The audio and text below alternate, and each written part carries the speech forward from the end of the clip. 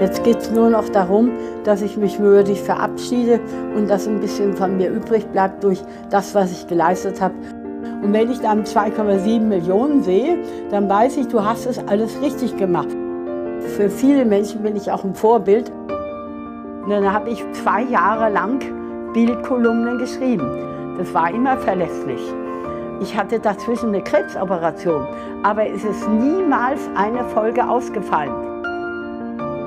Ich wusste schon, dass ich Krebs habe, aber in dieser Abscheulichkeit habe ich es auch nicht erwartet.